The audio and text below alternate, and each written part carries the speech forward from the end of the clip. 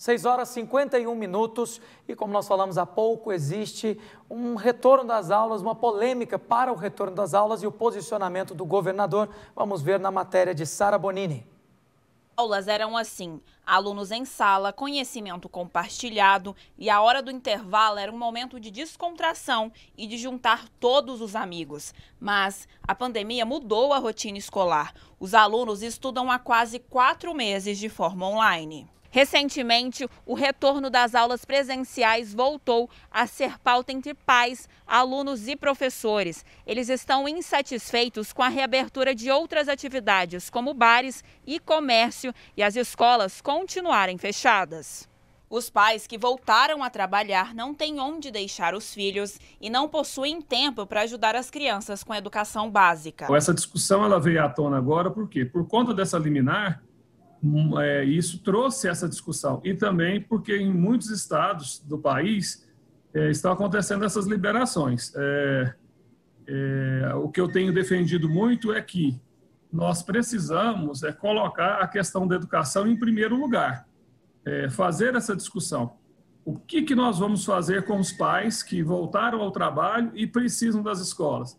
Nas creches e nos berçários, é, além da questão da escolarização, essas escolas também elas ajudam na questão do cuidar, do banho, da alimentação. Muitas famílias, vamos pegar como exemplo em Goiânia, contam com essas escolas para essa questão do tempo em que eles estão no trabalho e as crianças de 0 a 6 anos ficam na escola. Mas como seria essa volta? Segundo o infectologista, o momento precisa de cautela e as escolas precisam estar preparadas para receber os alunos. Limitar o número de estudantes por sala, uso de máscara, triagem de todos e a ventilação adequada da sala. Uma das condições, vamos dizer, indispensáveis eh, para um retorno seguro né, às atividades escolares é que a gente disponha de uma situação epidemiológica controlada né, da transmissão do vírus na comunidade. Ou seja, a gente tem que ter de maneira convincente uma queda consistente né, dos casos né,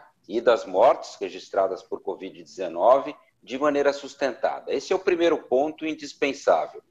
O segundo ponto que me parece muito importante frisar é que as escolas estejam preparadas para receber os alunos também de uma forma segura. Uma das principais mudanças pode acontecer no recreio. Com a volta, ele seria escalonado. Apenas alunos da mesma sala sairão juntos. Essa é uma das medidas sugeridas, né? Que haja horários diferentes de intervalo para que as classes não se misturem. Isso também minimiza né, o risco de contágio entre as crianças.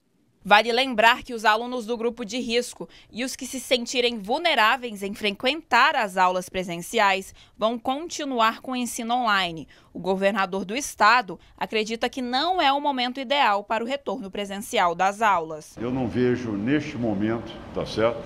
Não vejo nenhum espaço para nós voltarmos às aulas. O que eu vejo, sim, é de nós cada vez mais nos esforçarmos na aplicação de ferramentas que são substitutivas. A Sociedade Goiana de Pediatria recomenda que o retorno das aulas presenciais nas redes pública e privada de ensino seja urgentemente considerado a entidade compreende que a escola assume papel fundamental no desenvolvimento pleno das crianças e adolescentes, como um ambiente propício para a interação social e para a aquisição de habilidades cognitivas. A SGP vai apresentar nos próximos dias documentos técnicos que pontuam os fatores relacionados ao desenvolvimento e comportamento infantil, bem como orientações de infectologistas que poderão nortear o retorno mais seguro das crianças e adolescentes às aulas presenciais.